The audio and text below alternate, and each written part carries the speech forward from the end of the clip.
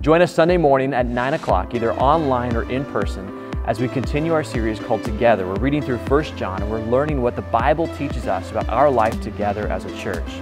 I can't wait to share this message with you, and I can't wait to see you on Sunday morning at 9 o'clock, either in person or online.